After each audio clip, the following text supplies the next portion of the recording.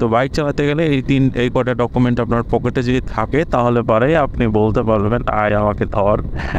এই কথাটা বলতে পারবেন বাইক চালাতে চালাতে। ঠিক আছে? আসসালামু আলাইকুম everyone this is Biplab welcome back to my another brand new video আর একটা নতুন মোটো ব্লগে আপনাদের সবাইকে অনেক অনেক স্বাগতম। আজকের ওয়েদারটা প্রথমে ওয়েদার আপডেট প্রতিবারই যেহেতু ওয়েদার আপডেট দেই আজকেও ওয়েদার আপডেটই থাকবে। আজকের ওয়েদার আপডেটে কোনো বৃষ্টি নেই। তো বৃষ্টি হওয়ার পসিবিলিটি ছিল বাট হয় নাই। তবে আবহাওয়া ঠান্ডা। এই একটা প্লাস পয়েন্ট আবহাওয়া আছে মোটামুটি ঠান্ডা। লুকিং গ্লাসটা একটু ঠিক করে নিতে হবে হবে ঠিক তো এখন আমরা আছি হচ্ছে যে এটা হচ্ছে নতুন রাস্তা। এই রাস্তার সাথে আপনার আগেও হয়তো পরিচয়। পাড়া রাস্তার প্লেন চত্বর থেকে যে রাস্তাটা যায়, রাজশাহীর, এটা হচ্ছে সেই রাস্তা।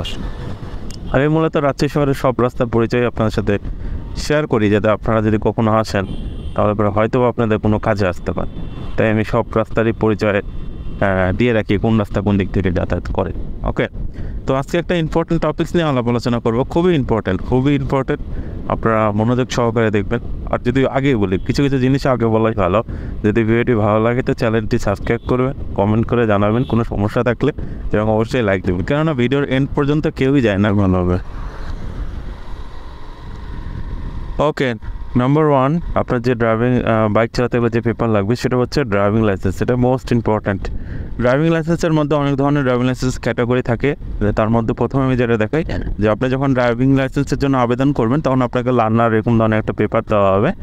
এবং এই পেপার দিয়ে আপনি যদি তিন মাস দুই মাস দুই মাসের মধ্যে আপনাকে বাইক রাইড করতে হবে তবে এটা নিয়ে আপনি কখনোই হাইওয়েতে কিংবা শহরের মধ্যে যদি যাতায়াত করেন, আপনাকে সার্জেন্ট হলে অবশ্যই মামলা দিবে। কারণ এটা দিয়ে আপনাকে রাস্তাঘাটে চলার পারমিশন নেই। এটা আমাদের বাংলাদেশের জন্য রুলস কেমন উৎপাট রুলস আমি জানি না। আমি যদি বাইক যদি রাইড যদি করতেই হয়, আমাকে তো বাইক তো চালানো শিখতে হবে। আমাকে সব দিক থেকে শিখতে হবে। শেখার জন্য তো আমাকে এটা দেওয়া হয়েছে।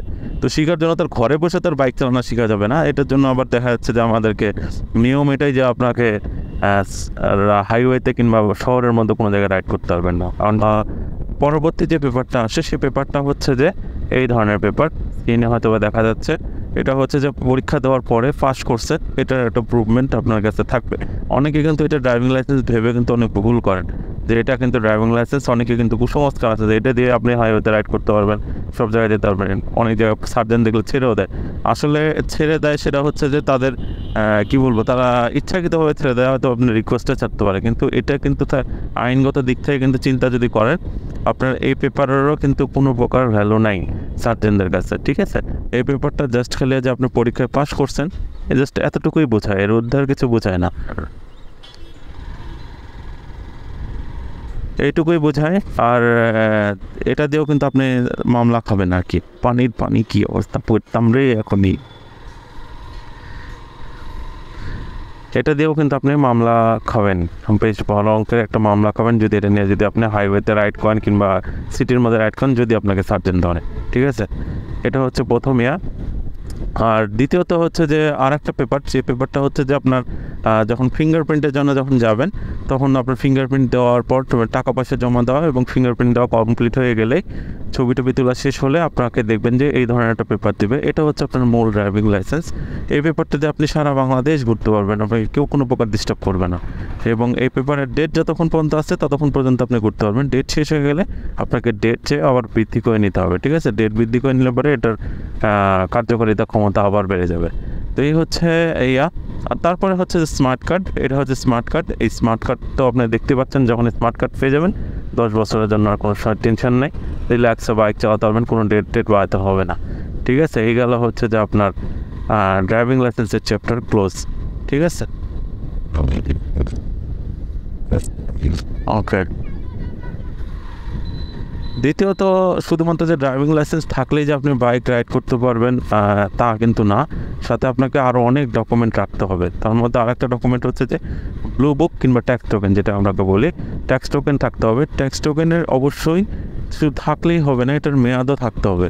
এটার যদি মেয়াদ থাকে, তাহলে পরে আপনি এটা কোনো প্রকার সমস্যা ছাড়াই রাইড করতে পারবেন। অবশ্যই এটার মেয়াদ থাকতে হবে। তো ট্যাক্স টোকেনের মেয়াদ হচ্ছে এই জায়গাটায় দেখা যায়। এখানে আপনি দেখতে পারবেন যে আপনার ট্যাক্স টোকেনের মেয়াদ কতদিন বলতে আছে। হ্যাঁ, যে কদিন থাকবে সে কদিন আপনি ট্যাক্স টোকেন ছাড়াই আপনি বাইক ট্যাক্স টোকেন দিয়ে বাইক চালাতে পারবেন। তারপরে যে সমস্যা হয় সার্জেন যদি আপনাকে ধরে ট্যাক্স টোকেন চেক করতে গেলে যদি দেখে যে মেয়াদ নেই তাহলে কিন্তু আপনার মামলা পাবেন। এই হচ্ছে ইয়ে বাট কোনো জিনিসের ফটোকপি রাখা যাবে না। আগে বলে রাখি ট্যাক্স টোকেন বলেন, আর হচ্ছে যে ড্রাইভিং লাইসেন্সের বলেন, কোনো প্রকার ফটোকপি রাখতে পারবেন না, সব অরিজিনাল কপি ট্যাক্স টোকেন কিন্তু ফটোকপি রাখলেও কিন্তু অনেক সময় মামলা দিয়ে দেয়। এই জিনিসগুলো কখনই করবেন না। অরিজিনালটাই রাখবেন, কাছে। একটু সতর্কতা, অনেক রকম কভার পাওয়া যায় কভার দিয়ে কভার করে রাখতে পারেন, তাহলেই হবে। ঠিক আছে? এটা কিন্তু একটা ফ্লাইওভার কথা বলতে হতে ভুলে গেছি, এটা কিন্তু ফ্লাইওভার ছোট্ট একটা ফ্লাইওভার আমাদের রাজ্যের প্রথম ফ্লাইওভার এটাই। আর নিচ থেকে কিন্তু ট্রেন যায়, যার জন্য হচ্ছে এই উপর দিয়ে একটা বড় রাস্তা করে তো ও ওয়েদার সূর্য এখন পশ্চিম দিকে, অস্ত যাচ্ছে ওয়েদারটা কিন্তু সেই হয়ে আছে।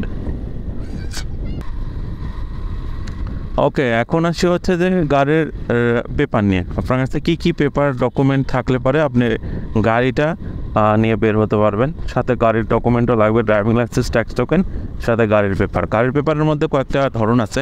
ধরনের মধ্যে প্রথম যেটা, সেটা হচ্ছে গাড়ি যখন আপনি শোরুম থেকে বের করবেন বাইক যখন আপনি শোরুম থেকে বের করবেন আর কি, তখন দেখবেন যে আপনাকে এই ধরনের দুই, তিন দিন পর আপনাকে একটা মানি রিসিপ্ট দিবে। এই মানি রিসিপ্টের একটা কপি আমাদের কাছে থাকতে রাখা লাগে আর কি। আর একটা হচ্ছে যে আপনার বাইকের পিছনে আমরা ঝুলিয়ে দিই হ্যাঁ যে আপনি গাড়ি রেজিস্ট্রেশন করেছেন এবং টাকা পয়সা জমা দিয়েছেন আপনার নাম্বার প্লেট এখনও আসেনি। তবে আমার রাজশাহী শহরের মধ্যে জায়গায় আমি যখন বাইক নিয়ে রাইড করছিলাম, আমার কোনো প্রকার সমস্যা হয়নি। সিটি ভেদে সমস্যা করতে পারে, যেমন ঢাকা শহরে এই ধরনের ডকুমেন্ট নাম্বার প্লেট ছাড়া বাইক বের করলে আপনাকে নির্ঘাত ধরে নেবে, এটা হান্ড্রেড পার্সেন্ট গ্যারেন্টি তবে দেখা যায় যে অনেক শহরে কিন্তু ধরে না। যেমন আমার শহরে আমাকে ধরে নাই, কিংবা অন্য কাউকে ধরে না। এটা একটা ইয়া তবে ধরেও আবার কোনো ঠিক ঠিকানা নেই। তবে এটা থাকলে পারেও যে আপনার বাইক রাইড করলে পরে আপনাকে মামলা দিবে। যেমন আমাকে আমার ফ্রেন্ডগুলোর অনেকে ধরছিল আর কি, যাদেরকে ধরে নিয়ে গেছিল আর কি। থাকা সত্ত্বেও ধরছে, কিছু করার নেই। তো এই ধরনের রিস্ক থাকে। তার যদি আপনি একটু সাবধানতা অবলম্বন করেন, তাহলে পরে সমস্যা নেই। আর দ্বিতীয়ত নাম্বার যে প্লেট যখন চলে আসবে নাম্বার প্লেট আসার পরে আপনাকে দেখবেন যে অ্যাকনোলেজমেন্ট স্লিপ দিবে দিবে। অ্যাকনোলেজমেন্ট স্লিপ যখন আপনার গাড়ির নাম্বার যখন চলে আসবে তখন টাকা পয়সা জমা দেওয়ার পর কিছুদিন পরে কিন্তু আপনাকে অ্যাকনোলেজমেন্ট স্লিপ আসে, সেখানে আপনার নাম্বার প্লেটের নাম্বার লেখা থাকে। তবে নাম্বার প্লেট আপনি তখনই পাবেন না নাম্বার প্লেট আসতে একটু সময় লাগে। দেখা যায় যে দুই এক মাস লাগে নাম্বার প্লেট আসতে, তবে নাম্বার কী হবে সেটা চলে আসে, পিছনে নাম্বার তখন আমরা টাই তখন একটা ফটোকপি দেওয়াতে নাম্বারটা লেমন টেন করে আমরা পিছিয়ে লাগিয়ে দিই। তো এতে করে হয় কি, কোনো সমস্যা হয় না। ডিজিটাল নাম্বার প্লেট না থাকলেও সমস্যা হয় না। আবার আমি তো বললাম সিটি ভেদে সমস্যা হতে পারে। যেমন আমার শহরে সমস্যা হয় নাই, এটাই আমি বললাম। আর দ্বিতীয়ত হচ্ছে যে অ্যাকনোলজমেন্ট স্লিপ থাকে। অবশ্যই অ্যাকনোলজমেন্ট স্লিপ যখন আপনাকে দেওয়া হবে, দেখবেন যে ওখানে কোনো ডেট থাকে না। আপনাকে অবশ্যই বিআরটিএ যে আপনার ডেটটা বৃদ্ধি করে নিতে হবে। তখনই কিন্তু এটা অ্যাক্টিভ হবে। না হলে পরে এটা ডিঅ্যাক্টিভ ঠিক আছে? নতুন রাস্তা, শেষ। এ রাস্তা শেষ। রাকেশ, এই রাস্তা শেষ। ভেঙে গেছে। পিছনে দেখছিস? একবারে ভেঙে গেছে। নতুন রাস্তা। ডেট বৃদ্ধি করে নিতে হবে। ডেট বৃদ্ধি করে নেওয়ার পর আপনি এটা নিয়ে চালাতে পারবেন, কোনো প্রকার সমস্যা হবে না।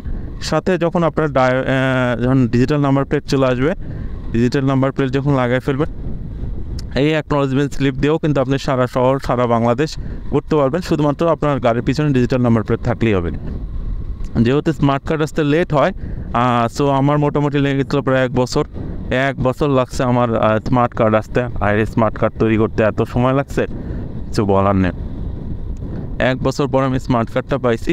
এই এক, এই স্মার্ট কার্ড দিয়ে আপনি তখন অ্যাকনোলজমেন্ট স্লিপ নিয়ে আপনি ঘুরলেন। ঘোরার পর হচ্ছে যে যখন স্মার্ট কার্ড যখন চলে আসবে, তখন আপনি স্মার্ট কার্ড নিয়ে কোনো প্রকার সমস্যা হবে না। তখন স্মার্ট কার্ড নিলে পরে তো আপনার কোনো সমস্যা নেই। তখন এটা নিয়ে রাইড করতে পারেন আর কি। ওকে এই হচ্ছে যে এই কটা ডকুমেন্টস আর সাথে হচ্ছে এনআইডি কার্ড যদি থাকে তো খুব ভালো না থাকলেও সমস্যা নেই। ফোনের যুগ ফোনে ছবি তুলে রাখলেন এই একটাই আর। ঠিক আছে এই কয়টা ডকুমেন্ট আপনার ম্যান্ডেটরি লাগবেই। আর যদি আপনি বাইক চালাতে চান তো বাইক চালাতে গেলে এই তিন এই কটা ডকুমেন্ট আপনার পকেটে যদি থাকে তাহলে পরে আপনি বলতে পারবেন আয় আমাকে ধর। আহ, এই কথাটা বলতে পারবেন বাইক চালাতে চালাতে। ঠিক আছে আপনাকে কেউ কোনো প্রকার ডিস্টার্ব করবে না। আপনি নিয়ে নির্দ্বিধায় খালি হেলমেট থাকলে হবে। হেলমেট না থাকলে পরে এটা সমস্যা, সমাধান নাই, বড় রকমের একটা মামলা। তবে পেপারে করে থাকলে পারে এতটুকু গ্যারান্টি দিতে পারি আপনাকে কেউ ধরার নাই, ঠিক আছে? বাংলাদেশের কোনো পুলিশ আপনাকে ধরতে পারবে না, যদি আপনি কোনো রুলস ভঙ্গ না করেন না ঠিক আছে? এই হচ্ছে যে ডকুমেন্ট নিয়ে আপনাদের কাছে ছোট্ট একটা ইনফরমেশনমূলক একটা ভিডিও যেটা আপনাদের সাথে আমি শেয়ার করলাম।